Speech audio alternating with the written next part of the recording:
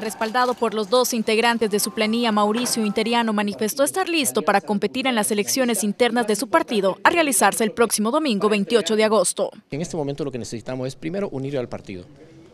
Segundo, tenemos que trabajar por nuestras estructuras, tenemos que realmente irnos a trabajar para apoyar a nuestras alcaldías, nuestros alcaldes, nuestras estructuras se, se, han sentido abandonadas y es ahí donde realmente se hace el trabajo político. Este martes será la inscripción oficial de los candidatos que esperan relevar al actual presidente Jorge Velado durante el 2016 al 2019.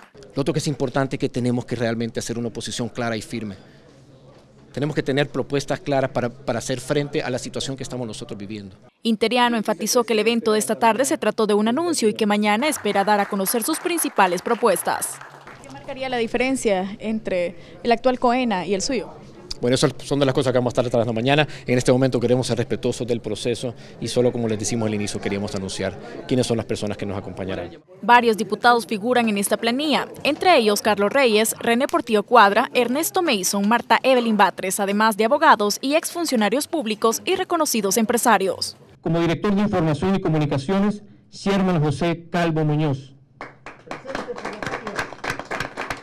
Ha unido porque Arena siempre ha liderado todos los procesos internos de democracia.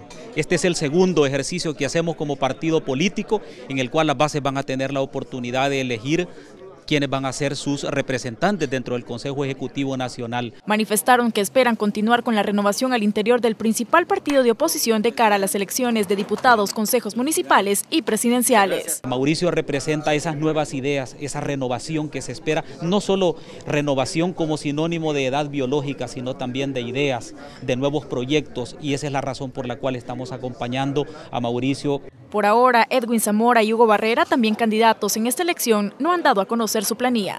Es hora de actuar y creo que tenemos que pasar ya del dicho al hecho, ¿verdad? A poder eh, mejorar el trabajo que se ha venido realizando, pero también dar un salto de calidad a la hora del trabajo que tenemos que hacer con la riqueza de nuestro gran partido, con la riqueza de nuestro partido, que es la estructura de arena.